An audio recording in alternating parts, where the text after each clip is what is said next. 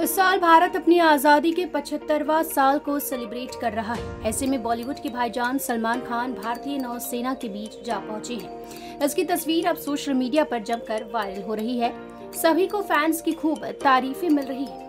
Actor भी Indian navy officers के साथ मस्ती करते हुए दिखाई दे रहे हैं। भारत में बने सबसे बड़े डिस्ट्रॉयर आईएनएस विशाखापट्टनम की कुल लंबाई एक मीटर और विस्थापन 7,500 टन से अधिक है। भारतीय नौसेना हमारे राष्ट्र के तटों की रक्षा करते हैं और अक्सर अपने जीवन, अपने परिवारों के साथ समय का त्याग कर वे ये सुनिश्चित करते हैं कि हमारे समुद्री सुरक्षित और सेफ़ रहे। ऐसे में सलमान खान ने अपने व्यस्त कार्यक्रम में से समय निकाला और विशाखापट्टनम के सैनिकों के साथ क्वालिटी टाइम स्पेंड किया।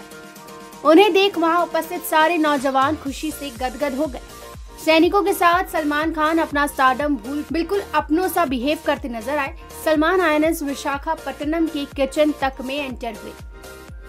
वहाँ खाना बना रहे सैनिकों का हाथ बताया और साथ ही कढ़ाई में करछी चलाते भी नज़र आए। सैनिकों के बीच उत्साह बढ़ाने पहुँचे सलमान का ये अंदाज सबको बेहद पसंद आया। Bureau report, Mitra Mumbai.